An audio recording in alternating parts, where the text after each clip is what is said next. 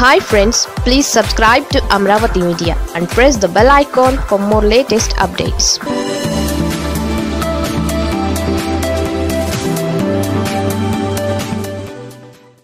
అప్పట్లో Asia dream క్యాబినెట్లో Chandrababu KCR mark పంచులు.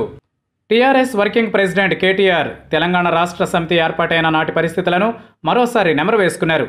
పట్టభద్రుల ఎమ్మెల్సీ ఎన్నికల ప్రచారంలో ఉన్న కేటీఆర్ తెలంగాణ ఉద్యమంలో పాల్గొన్న వారితో మరోసారి మమేకమయ్యారు. కేసీఆర్ పార్టీ పెట్టే నాటికి తెలంగాణలో ఉన్న పరిస్థితులను ఆయన వివరించారు. కేంద్రంలో ఎన్డీఏ అధికారంలో ఉందని చంద్రబాబు నాయుడు బలమైన సీఎంగా ఉన్నారని కేటీఆర్ తెలిపారు. టీఆర్ఎస్ పార్టీకి త్వరలోనే ఇరవై ఏళ్ళు నిండుతాయని కేటీఆర్ గుర్తు చేశారు. పంతొమ్మిది వందల తొంభై తొమ్మిది రెండు వేల నాటికి చంద్రశేఖరరావుగా పరిచితుడైన కేసీఆర్కు రాష్ట్ర వ్యాప్తంగా పెద్ద పేరు లేదు. అప్పటికి ఆయన వయసు నలభై ఐదు ఏళ్ళు కేసీఆర్ వాక్చాతుర్యం ప్రతిభ ఏంటో టీడీపీలో అందరికీ తెలుసు. కానీ కేసీఆర్ తెలంగాణ కోసం పోరాటం చేస్తానని పార్టీ పెడతానని చెప్పినప్పుడు కొందరు మాత్రమే వెంట నడిచారు. మనీ మజిల్ మీడియా పవర్ లేదు. తెలంగాణ తొలిదశ ఉద్యమం జరిగి అప్పటికే ముప్పై ఏళ్ళు గడిచింది. ప్రొఫెసర్ జయశంకర్ లాంటి వాళ్ళు అక్కడక్కడ తెలంగాణ ఆకాంక్షలను చిరుదీపంలో ఉంచే ప్రయత్నం చేశారు. కానీ రాజకీయ పార్టీల పట్ల ప్రజల్లో అనుమానాలు హైదరాబాదులో డబ్బున్న పెద్ద బాబులంతా విభజన అవసరమా అనే పరిస్థితి. అప్పటికి చంద్రబాబు ఉమ్మడి రాష్ట్రానికి సీఎంగా ఉన్నారు. ఆయన కీర్తి ప్రతిష్టలు పతాక స్థాయిలో ఉన్నాయి. విజనరీ నాయకుడనే బిల్డప్. దేశానికి కాబోయే ప్రధానిగా ప్రచారం. కేంద్రంలో చంద్రబాబుపై ఆధారపడిన వాజ్పేయి ప్రభుత్వం.